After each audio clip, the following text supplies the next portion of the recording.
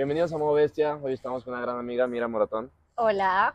Miriam es una maestra de yoga, digo, nos conocemos desde hace que como dos, tres años. No, Dos años. Dos años, dos años. Sí, dos años. Y digo, para la gente que sea la primera vez que te ve, que te ve ¿qué les puedes decir? O sea, maestra de yoga, eh, ¿te especializas en algo? ¿O cómo sería? cómo Pues mi presentación, ¿no? Bueno, yo soy Miriam, soy profesora de yoga, como os ha dicho Mike. Soy de España, no soy de aquí. Llevo tres años en México, dos años impartiendo clases en Higher, en un estudio. Y mm, pues básicamente esa sería mi presentación, Sí, no, súper bien. El, el yoga siempre me ha interesado a mí. Digo, tú ya me conoces, yo fui futbolista, lo, Sí. ahí siempre he estado inmerso en el deporte. Eh, muchos equipos de primera división obligan a sus jugadores a tener yoga. Eh, muchos equipos de la NFL obligan a sus jugadores a tener yoga. Digo, obliga, o sea, obligar va en contra de los principios del yoga, ¿verdad? Pero, o sea, les incitan a hacer yoga Sí, por muchos beneficios, digo, flexibilidad, eh, sobre- mucho de la parte mental, enfoque. Yo, yo de chico estuve en Chivas en fuerzas básicas, fuerzas básicas las inferiores, y ahí desde que eres niño había una, una vez a la semana te hacían tener yoga. Luego me fui a Toluca y yo por mi cuenta hacía yoga. Y es algo que siempre me, me gustó. Creo que la principal razón en base a esto que estás diciendo es que el yoga te da una maravillosa oportunidad de crear una conexión entre tu mente Ujú. y tu cuerpo. Y cuando unimos estas dos cosas, yo creo que nos puede servir no solamente a nivel de un deporte profesional, sino a cualquier área de nuestra vida. Esa presencia, ese, esa conexión entre lo que yo soy, lo que yo siento, cómo proyecto, creo que es muy, muy importante y, y creo que es una de las principales razones por las cuales, como tú dices, te obligan, porque Sí. efectivamente yoga nace, no, no es obligar, es algo que a ti te salga, pero sí es muy importante. Y hay- muchísimos atletas, digo, a nivel muy, muy top. Digo, Michael Jordan, eh, Kobe Bryant de básquetbol, hacían, hacían yoga. Eh, hay un entrenador muy famoso de básquetbol que se llama eh, Phil Jackson. Ujú. Phil Jackson, él ganó 11 títulos como entrenador y tenía un enfoque como un poco distinto, ¿no? Como, como más hippie, no sé si como más Sí. hippie, si se puede llamar así. Eh, estaba muy chistoso porque obligaba a todo su equipo a tener yoga. Entonces tenías a un equipo de básquetbol de, de puros güeyes arriba de 1,90, 2 metros, haciendo yoga todos ahí en el centro del campo. Se veía chistoso, pero es el entrenador más exitoso de la historia de básquetbol. Eh, ¿qué, es- qué viene siendo yoga? O sea, el, el yoga en sí es una, ¿se puede considerar un deporte o es más como un, o es una, como un estilo? O, qué, o qué podría ser el yoga? El yoga sí se puede considerar un deporte porque el yoga tiene varias áreas y una de las áreas del yoga es el área física, que es la que va más enfocada pues a estirar el cuerpo, a ganar flexibilidad, a ganar fuerza de una forma muy amable porque no procuramos no lastimar articulaciones y somos muy conscientes de los movimientos cor- corporales. Pero el yoga va más allá de ser un deporte, es una filosofía de vida. Yo como profesora de yoga, mi objetivo es que tú como mi alumno no solamente te quedes con lo que estás proyectando en tu tapete, con lo que estás aprendiendo en el tapete, sino que esas enseñanzas las lleves a cualquier área de tu vida. Sí. Yoga en sí mismo, la palabra significa unión. ¿Y qué se busca? La unión entre la mente, entre el cuerpo y entre, ahora sí que llámalo energía, espíritu, alma. Entonces buscamos unir todo esto que conforma al ser humano para crear coherencia y vivir en coherencia. Es, es interesante eso. Muchas veces las emociones se guardan en el cuerpo. Y creo que, digo, creo que es algo que yo te lo estoy pirateando porque lo escuché de ti, creo. ¿no? Yo, estoy bien, pero... pero Sí, sí lo digo mucho en mis clases. Sí. Eh, tenemos la cadera. La cadera es la articulación más grande de nuestro cuerpo. Y cuando sentimos algún, algún miedo, alguna frustración, alguna tensión, cuando tenemos muchísimo estrés o una emoción muy fuerte, hacemos mil movimientos aquí que no controlamos, movimientos involuntarios. Entonces tiene mucho sentido que las emociones tengan mucho que ver con las caderas y, y también con el agua. Eh, las emociones en nuestro cuerpo están muy relacionadas con el agua porque al igual que el agua, tú una emoción no la puedes contener. Si tratas de contener una emoción, tarde o temprano encontrará, al igual que el agua, una rendija, algún sitio por donde salir y explotar. Entonces el yoga te invita a hacernos conscientes de esas emociones, a, a, sentirlas, a vivirlas y a que podamos transmutarlas y a decir, pues las liberamos, porque si no, ¿qué hace el cuerpo? Las somatiza. Uh -huh. Las somatiza en forma de enfermedad, en forma de tensión muscular, de dolor, de contractura. Y ahí ya, si no vamos escuchando estas alertas del cuerpo, se puede desarrollar algo más grave. Por eso es muy importante la conciencia que estamos creando en nuestro cuerpo. Sí, me acuerdo de una clase que tomé contigo ahí en Higher, que te, te lo comenté, que se me hizo bien chido lo que dijiste, o sea, como una clase enfocada en las caderas ese día sí. y en un momento te aventaste el speech de recuerden que las emociones se, se, se, guardan en las caderas y pues el hecho de hacer una clase de yoga enfocada en, en, movilidad de cadera muchas veces hace que también a lo mejor ciertos bloqueos mentales o ciertas emociones que traes ahí como Exacto. que eso está bien perro. Sí, sí, sí, la verdad que sí. Es una eh, oportunidad maravillosa también para estar en una postura de estas intensas que que estás sintiendo tus caderas y dices tú, vaya, y lo que no estoy sintiendo es dolor físico, sino estoy sintiendo más bien un dolor emocional. Sí. Entonces ahí estaba la emoción estancada a la que hemos logrado acceder y liberarla. Entonces no solamente estás liberando tus músculos, tus articulaciones, tu cuerpo, estás liberando también tu mente, porque sí. te estás haciendo consciente de ciertos procesos que de otra forma, si no te tomabas esta pausa, no te hubieses hecho consciente. Según los principios del yoga, digo, poniéndonos un poco, no sé, puede sonarme medio mamón o no sé, pero según el yoga, el cuerpo y la mente es uno mismo, o están separados y tienen que trabajar en unión, o si va 100% de la mano, o tú cómo podrías considerar Pues ahora eso? sí que yo te diría que el objetivo del yoga es unirlos, uh -huh. eh, que fuesen uno mismo, más bien actuar en coherencia, pero sí que forman, sí que son independientes, ¿no? Uh -huh. A veces uno quiere hacer una cosa y no puede porque está enfermo, uh -huh. entonces ahí no hay coherencia, el cuerpo está enfermo, yo quiero hacerlo, pero está enfermo, pero ahora, ¿por qué estás enfermo, no? Qué es lo que te ha llevado a estar enfermo, a generar esa enfermedad. Entonces el yoga busca como que podamos tener más control de uno mismo, de nuestro cuerpo, de nuestros pensamientos, de nuestras palabras, eh, para que luego a la hora de que sucedan cosas que no podemos controlar, porque van a suceder cosas que no vamos a tener control, eh, te puede, pues no sé, puedes ir en coche, tener un accidente, y, y, ahí eso está fuera de tu control, ¿no? Y te pasó algo por esto que tuviste. Entonces el yoga te invita a tomar el poder, a recuperarlo y a tener el control interno de decir, vale, esto me ha pasado externamente, pero lo importante y el verdadero control y el verdadero poder es como yo estoy reaccionando a esta situación. Sí. Por ahí, o sea, mente y cuerpo son distintos, pero la única manera de tener éxito es alineando, unirlos, unirlos alineando sí. la intención. Y es bien interesante cómo cuando estás haciendo yoga, creo que tú lo comentaste, muchas veces estás haciendo yoga y en cierta posición hasta a veces dan ganas de llorar, pero sí. no por dolor físico, sino porque se te despertó como un, una emoción que traías guardada. Uh -huh. O eso, porque te ha tocado que tú dando clases alguien empieza a llorar. Sí, o sea, y eso, sí, eso pasa ser? mucho. Sobre todo me pasa en mis clases de yin yoga. Eh, yin, digamos que trabaja más con articulaciones, ligamentos y huesos. Eh, el yin, eh, la energía como yin, como tal, es la energía femenina, la energía pues delicada, eh, de la luna, el yang es más de acción, más de, el yin es de quietud. Entonces, en yoga buscamos también balancear ambas energías, tanto la energía yin de una persona como la energía yang, porque a veces están desbalanceadas. Uh -huh. Entonces, en yin, esto lo digo porque en yin yoga muchas veces buscamos permanecer en una postura mucho tiempo.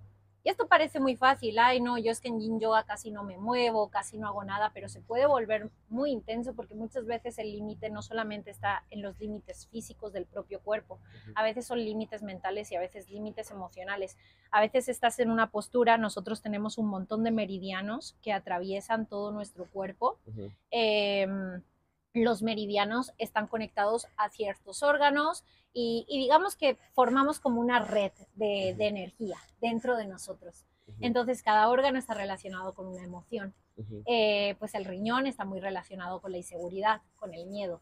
¿Qué pasa cuando estamos en una postura, por ejemplo, paloma, que estamos estimulando la línea del meridiano del riñón? Pues ahí eh, automáticamente estás conectando con esa emoción y si de pronto la sientes, tú puedes decir, uy, yo no quiero sentir esto. Uh -huh. Entonces ahí te estás poniendo una barrera a no sentir esa emoción porque la has reprimido, porque entendiste que reprimir esa emoción estaba bien. Uh -huh. Pero lo que necesitamos hacer es sentirla para poder ser conscientes de que está ahí, de que esa herida está ahí poder sanarla. Sí. Si tú no eres consciente de que tienes una herida, de que la tienes, nunca la vas a poder sanar. Sí. Entonces, en el momento que yo soy consciente de que esa herida está dentro mío, que es mía y solo mía, y solamente yo la puedo sanar, la hago consciente y la sano. Y Sí. mucha gente en esos momentos no quiere hacerse consciente, entonces prefiere salir de la postura, evadirse, mil cosas, o dice este estilo de yoga no es para mí. Así que es, por eso es muy normal a veces tener, llorar y estas Sí. cosas en yoga. Y evadirse, eso es bien interesante porque ahorita muchas veces estamos en una cultura que nos dicen, hey, no pienses, solo haz, ¿no? O sea, tú, tú métele, tú haz, no, no te detengas, tú siempre métele. Y pues al final eso lo único que hace es que te vas a terminar estrellando y vas a terminar valiendo madre. O sea, a veces es bueno detenerte. Bueno, no a veces, yo creo que siempre es bueno hacer una pausa todos tus días y a ver qué tal estás, ¿no? Eh, o sea, a ver cómo te sientes. Eso, digo, yo, yo estudio psicología y hay algo, ahorita están muy de moda los coaches de vida, ¿no? Los coaches de vida que, que parecen a veces que más son como porristas que te dicen, hey, tú dale, tú puedes, y 4 AM siempre, y dale. Y te dicen muchas veces que no te detengas, que tú le tienes que meter, le tienes que meter, le tienes que meter, y que pensar a veces no te sirve mucho. Yo creo que es todo lo contrario, es... Mira, piénsalo bien, ¿ah, ¿no? Vamos a hablar Sí. de pensar, piénsalo bien. Uno está constantemente haciendo lo mismo, todos los días. Lo mismo, su rutina, todo planificado, haz, haz, haz, haz. Ujú. ¿Qué pasa si estás todo el tiempo haciendo? Solo en el momento que yo me quedo en quietud, me puedo permitir abrirme a posibilidades de hacer las cosas de otra manera.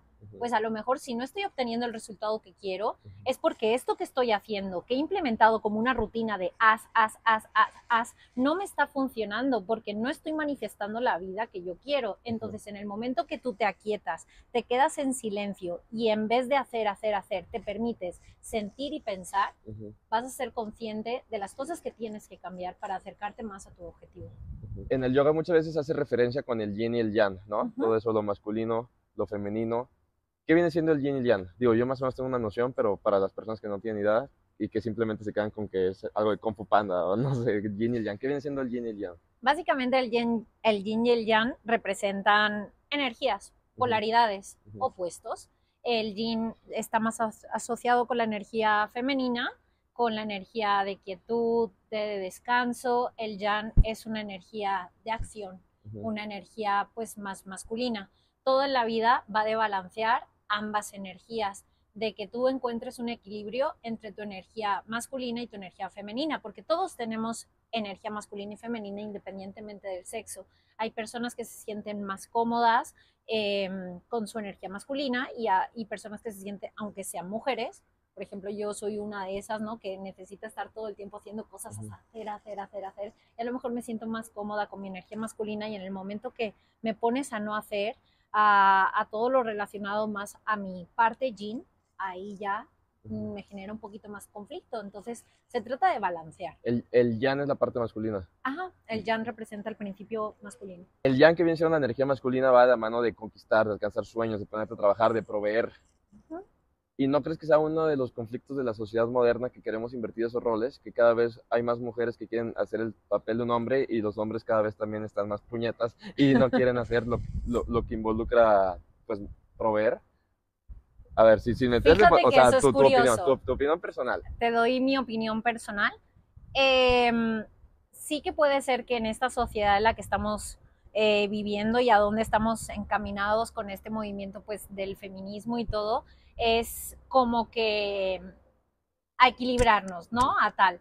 Pero vamos un poquito en contranatura y aquí muchos diréis, uy, ¿qué va a decir? No, vamos un poquito en contranatura si le quitamos esa parte de proveer al hombre, porque es que es- su energía es ya de por sí, entonces su, su energía de proveer, de conquistar, de accionar, de poder resolver, eh, no la podemos quitar si nosotras nos estamos masculinizando.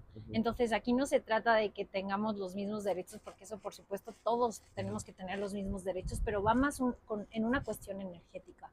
Eh, yo creo que la sociedad ahora a las mujeres mm, nos está fomentando mm, relacionarnos más con nuestra energía masculina y estamos perdiendo esas cualidades yin de, saber recibir, de quietud, de, de delicadeza, de nutrir, de mm, y las estamos cambiando por, por hacer, hacer, hacer, hacer, accionar y tal. Entonces, creo que todo es de balances. Hay parejas que yo conozco en donde el hombre tiene muchísima más energía femenina y la mujer tiene más energía masculina y así se complementan, porque aquí no se trata del género que tú tengas, se trata de encontrar un balance entre ambas energías, entre tu lado femenino y tu lado masculino y en a la hora de relacionarte que esas relaciones estén como que equilibradas, ¿no? Entonces no se trata tanto de sexo, pero efectivamente un hombre que está en coherencia con su energía masculina va a ser siempre más de querer proveer, de querer resolver, de querer conquistar, y pues nosotras no podemos quitaros eso. Sí. A, veces, sí pareciera, ¿no? Como que el feminismo para mí es algo increíble, pero que a veces se puede, se puede llevar a un extremo negativo. Creo que a veces caer en esa polarización de o es esto o es esto, creo que eso es algo negativo y creo que el feminismo radical es algo que termina perjudicando a todos. Sí, es triste, no, no hay que radicalizar nada, hay que estar en paz con nuestra energía masculina y con nuestra energía femenina y hay que entender que por naturaleza eh, el hombre es más de proveer, es más de dar y nosotras somos de recibir, pero porque así están las energías. Y, de, hecho el feminismo, o sea, el, gran feminismo encabezado por grandes mujeres, incorporan a hombres al feminismo. Dicen, a ver, esto es un movimiento de todos, o sea, de hombres y mujeres. El Por supuesto que sí. Y el feminismo radical excluye a los hombres. Y váyanse a la mierda, y violadores, y no, o sea, no. Yo, o sea, yo creo que es un tema también de, de bien contra el mal. O sea, es, hay hombres buenos, hay hombres malos, hay mujeres buenas, hay mujeres malas. Que un hombre haya actuado mal contra una mujer no significa pues, que todos los hombres somos así. Y a veces pareciera que el feminismo radical cae en a la mierda a todos los hombres y no, y no los necesitamos. Y, o sea, ¿tú piensas que el hombre es necesario en la sociedad? Claro que es necesario. O sea, empezando porque nosotras solas no nos podríamos reproducir. O sea, aquí el sentido último de la vida es que venimos a, nacer, a desarrollarnos, a reproducirnos y a morir, ¿no? Es como que el ciclo natural. Entonces, obviamente necesitamos, obviamente nos complementamos tú necesitas de mí, yo necesito de ti. Es aquí como que el yin y el yang. No existe yin si no hay yang. No existe luz si no hay oscuridad. Tú no podrías ver las estrellas sin oscuridad. Entonces no podemos decir, solo quiero cosas luminosas, solo quiero cosas buenas, solo... No, no podrías ver las estrellas si no integras tu parte oscura, si no ves esa oscuridad en ti. Entonces, todo es necesario, todo está aquí por algo, todo tiene como que un propósito mayor. Entonces, yo creo que aquí todo se trata de encontrar balance. Y es balance y complemento. Eh, al final, digo, tal vez no tiene mucho de yoga, pero bueno, es, algo bonito que las pláticas se terminan yendo a, claro. temas, de la vida. Eh, creo que uno de los fines máximos de esta vida es el progreso. O sea, encontrar cosas para que nuestra generación mejore la generación anterior y que la siguiente generación mejore y, y e, eventualmente vamos mejorando hacia... Pero no se te hace, Mike, que con toda esta tecnología y estos avances, eh, el progreso, o sea, por, ahí voy a enlazar un poquito la temática con el estrés, ¿no? Porque me estás comentando de todo esto de progreso y, de mejoras. Pero yo creo que todo lo que hemos hecho, porque nosotros sentimos estrés desde que nacemos, el mero hecho de nacer nos produce a nosotros estrés.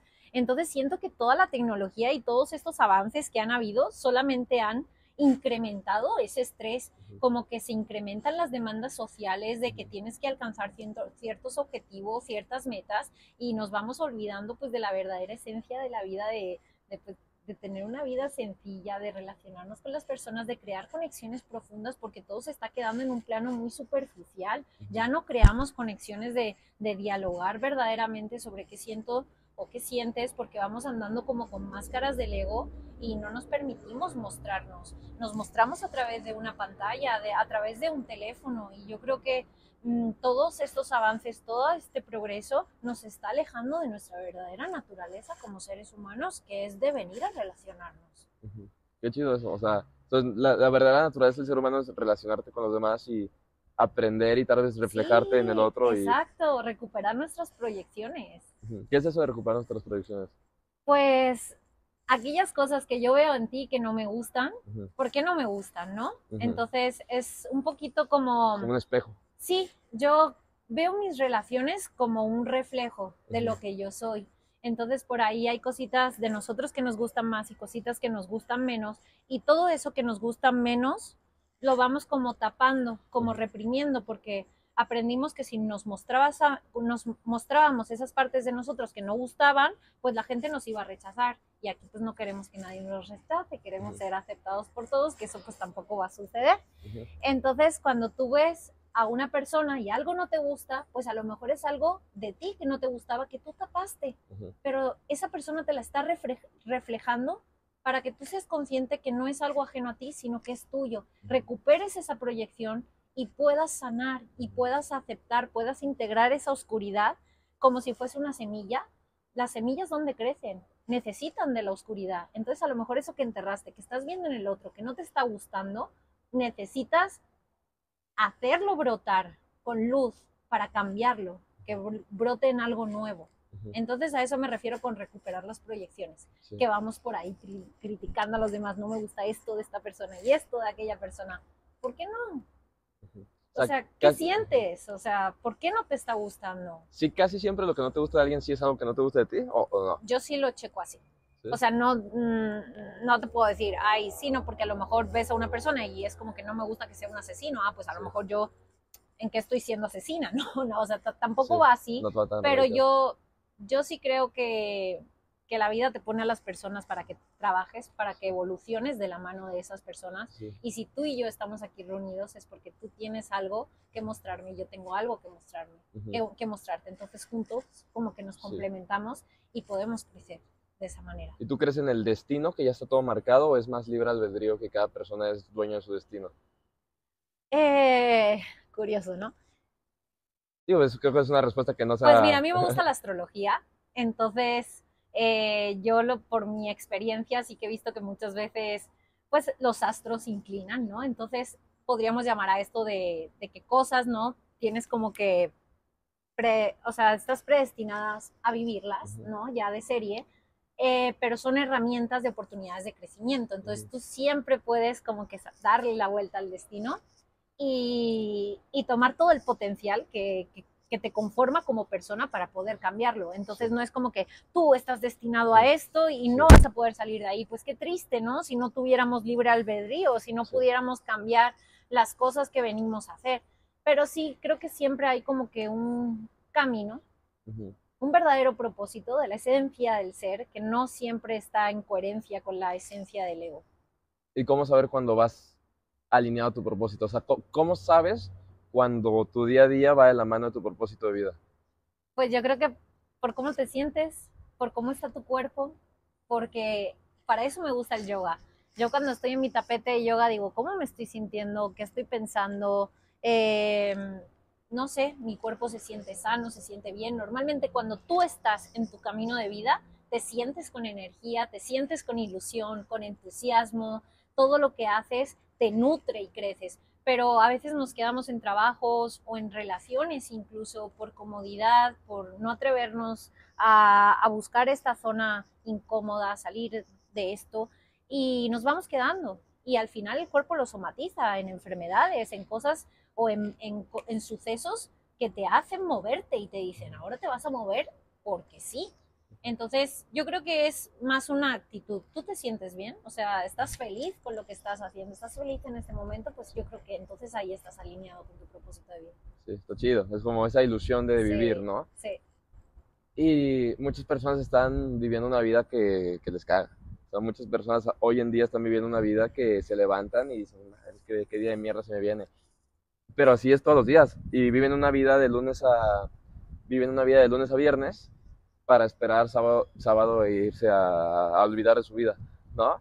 a desconectar, a evadirte. sí, o sea, las personas hoy en día viven con la ilusión de que llegue viernes y sábado para olvidar los días de lunes a, a jueves. Pero el problema ahí es que esas personas están viviendo en el futuro. O sea, mm, no están viviendo, están desconectadas de su presente, no están creando presencia. En el momento que tú creas presencia y dices, esto es, esto que tenemos es lo único, el aquí, el ahora, donde puedo dar pasos para cambiar. Entonces, cuando nos hacemos conscientes y creamos esta presencia en el momento que estemos viviendo, sea cual sea la situación que estemos viviendo, cuando aceptamos esa situación, y no estamos en constante lucha con esa realidad, Solo ahí podemos cambiarla. Pero eso se hace desde el presente, Sí. sintiendo, sin evadirnos, Sí. sin esperar a que llegue el viernes para poder salir de fiesta, para poder desconectar. No, alegrándote por el presente. Sí. Eso está bien que yo que dijiste. Esto que tenemos es lo único que hay. O Sí. sea, el pasado no existe, el futuro Aquí es no donde todo sucede. Aquí, donde podemos decidir. Sí. Y aquí no hay miedo, no hay ne- nervios, no hay... No, claro que hay. ¿Sí? ¿No, ¿No crees que es más en el futuro?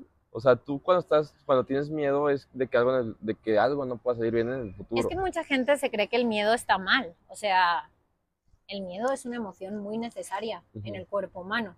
Eh, viene un león, el miedo hace, el miedo que yo siento hace que se active un mecanismo en mi cuerpo que genera ciertas hormonas que me van a dar mayor potencia para salir corriendo del león. Entonces hay que aceptar la emoción del miedo, hay que aceptar lo que sea que estemos sintiendo. O sea, el miedo puede ser una emoción del presente perfectamente, pero aquí es mm, qué haces tú con ese miedo, ¿no? Porque el estrés, el estrés es necesario, necesitamos estresarnos para poder atravesar situaciones. ¿Cuál es el problema? El estrés que no existe, el estrés imaginario, el que tú te estás creando solo con la historia que te estás contando. Creo que la historia que nos contamos a nosotros mismos eh, tiene un poder increíble, o sea, de, de cambio, de, de modificar patrones, conductas y, y tu realidad. Así hay una frase muy bonita de un texto budista que dice algo así como que de la intención brota la acción. Eh, la acción forma un hábito. El hábito forma tu carácter y el carácter traza tu destino. Ok, está muy buena. Sí, Está muy bueno. entonces yo creo que al fin y al cabo es todo viene de esa intención. Ujú. ¿Qué quieres tú para ti, no? ¿Qué te estás contando? ¿Qué te quieres quedar, no? ¿Te sucede algo malo? ¿Te quieres quedar con una historia negativa? ¿O quieres modificar la historia y repetirte una historia que te, te haga sentir bien, que te haga, porque al final todo es química y hormonas en nuestro cuerpo, que te haga producir hormonas del bienestar, que te, que te encuentres feliz? Pues. Sí. Está cañón porque hay, hay una frase también de una persona, digo, es una persona que ya está a punto de morir y dice, mira, yo he tenido una gran vida, una larga vida, a lo largo de mi vida he tenido miles de problemas, la mayoría de ellos nunca existieron. Y dices, Totalmente. Sí, y dices, está cabrón porque todos tus problemas, ponle que un 95% de tus problemas no existen, son, son, men- son mentales. O Y- sea, el ajá. 99% Sí, de lo que tú vas a pensar que te va a pasar, no te va a pasar. Entonces yo creo que aquí la clave de felicidad, como dice Marian Rojas, es nuestra relación con el presente. Estoy desde el presente, me llega una cosa buena, la disfruto, me ilusiono, me río, me llega una cosa mala, la gestiono. ujú, Pero no estoy, o sea, es importante ir al pasado, porque el pasado siempre va a tener lecciones para, para que aprendamos de ellas. El pasado es un maestro eh, de enseñanzas. El futuro es importante porque hay que planificar y una persona necesita anticiparse a ciertas cosas. Pero lo más importante es el presente. Entonces, ve al pasado, ve al futuro cuando tengas que planificar algo, pero intenta que la mayor parte del tiempo estés conectado con tu presente y estés bien con lo que estés viviendo en tu presente, desde tu presente. Y en la yoga te, te incitan mucho a Total. momento presente, siente tu cuerpo. Es una meditación en movimiento. Sí. es llevar tu atención plena a lo que esté pasando. Y muchas veces yo veo el tapete de yoga como un espejo. Eh, mi práctica de yoga es como un espejo. Como yo me estoy tratando en mi tapete de yoga, muchas veces es un reflejo de cómo me estoy tratando fuera. Entonces, yo enseguida calo cuando me he ido muy allá en una postura de decir, pero ¿por qué te has ido tan lejos? O sea, podías retroceder un poquito y estaba bien. A lo mejor te estás yendo más allá por una cuestión de ego, de probarte. ¿A quién le quieres probar? ¿A ti mismo? ¿A los demás? ¿Que puedes hacer algo? No, acéptate.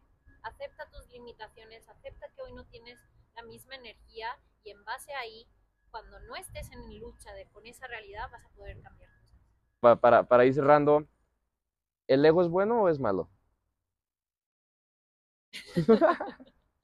El ego es bueno o es malo. A ver, el ego es necesario muchas veces. Eh, normalmente cuando tú conoces a una persona, pues utilizamos máscaras y estas son máscaras del ego. El ego es parte de nuestro ser. No, no se trata tanto de que sea bueno o malo, es que el ego es parte de nosotros. O sea, todos tenemos ego. Entonces hay que aprender a conocer tu ego, Ujú. a aprender a escucharlo, aper- aprender a relacionarte con él. Sí. Y eso se crea en base a ser consciente de cuáles son tus mecanismos de defensa y estas cosas que te estás repitiendo una y otra vez de, de forma permanente, que ya las in- has interiorizado tanto y de decir, pues a lo mejor esto es una cuestión de ego y, y no me está permitiendo relacionarme bien con los demás. Sí, Entonces yo creo que el ego hay que aceptarlo, hay que integrarlo, pero hay que dominarlo. Exacto. Hay que aprender a controlar ese ego y a ver, porque todos tenemos el ego y no, Sí. es, no es que sea malo tener ego. O sea, está bien. sí es normal. Y alimentarlo de vez en Sí. cuando también está bien. Ay, Sí. cuando te dicen qué guapa eres o qué, Ujú. o qué tal, pues eso a uno le crece, ¿no? Sí. Está bien. Pero Y- hay que saber que la esencia del ser humano va más allá de esas Sí. máscaras que nos podamos poner. Y el objetivo principal sería deshacernos de las máscaras y poder Sí, funcionar. está buenísimo. Ahora sí que integrarnos todo y aceptar todo. ¿no? Sí. E- El ego bien canalizado te puede llevar a conseguir cosas increíbles, pero regresando al presente, ¿no? Y Sí. para cerrar esta plática, mira, ¿te gustaría comentar algo? Ay, May, pues que estoy muy agradecida por estar aquí, Ujú. eh, por poder llegar a toda la comunidad de, de, de Mike, por poder crecer juntos. Em, me ha parecido una charla muy enriquecedora y te, te agradezco infinito, único así. Fue muy chido, no, muchas gracias a ti por, por hacerlo. Eh, redes sociales, para dejarlas aquí. Eh, mi Instagram es Miriam barra, barra baja, se dice aquí en Ajá. México. Ah, no, eh, guion bajo. Guión bajo. Ajá, guion bajo. Soler. Ok. Es mi Instagram, por ahí si me queréis Sí, seguir. igual aquí lo vamos a dejar. Y Exacto, si tenéis cualquier duda o cualquier cosita también me podéis escribir a Ujú. través de Instagram. Cool. Y gracias, Y pues nada, gracias por estar aquí con nosotros y que estén pendientes y que si les gustó se suscriban.